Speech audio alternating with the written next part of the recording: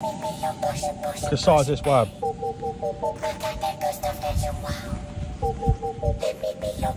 It's like as thick as my finger, look.